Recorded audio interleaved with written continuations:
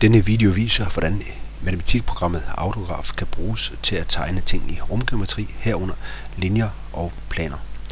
Vi starter Autograph op. Man vælger et nyt 3D grafvindue. I det grafvindue vil vi tegne først indsætte ligningen for en plan. Det gør man her. Enter equation. Og denne plan har følgende ligning.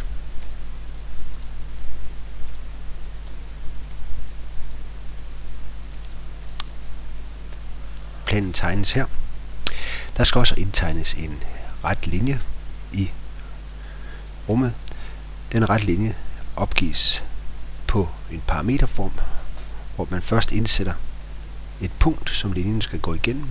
Derefter har man parameteren lambda, der normalt hedder t, og så skal man have en retningsvektor for linjen, den hedder 6,1,1. Og her er så tegnet øh, koordinatsystemet med linjen og planen. Man kan dreje rundt med venstre museknap, og ved at holde kontrol nede og hive op og ned med venstre museknap, kan man øh, zoome ind og ud. Og man kan resette her. Øh, man kan vælge det, der hedder whiteboard mode, og ikke whiteboard mode. Øh, whiteboard mode gør, at det er lidt nemmere at se figurerne. Man kan vælge radianer og grader. Vi vælger her grader.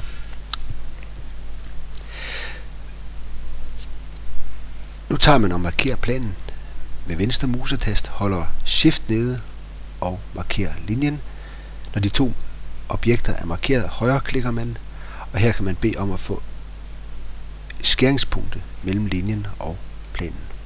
Dette skæringspunkt kan man klikke på, og nederst kan man se skæringspunktets koordinater. Og her kan man se en vinkel på 57,93 grader. Det er vinklen mellem planen og linjen og det er vinklen, man kan se fra linjen og ned til det tætteste punkt på planen her.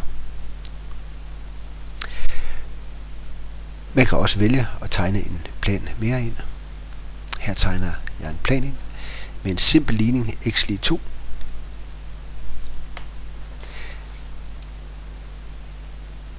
Denne plan skærer den anden plan i en ret linje, og ved at markere begge planer ved at holde shift nede, kan man Højreklikke og intersection line er skæringslinjen mellem de to planer.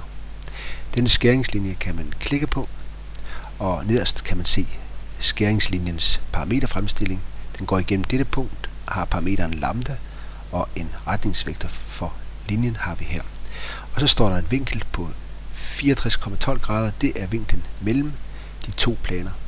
Og denne vinkel øh, er den spidse vinkel, man kan se mellem de to planer her.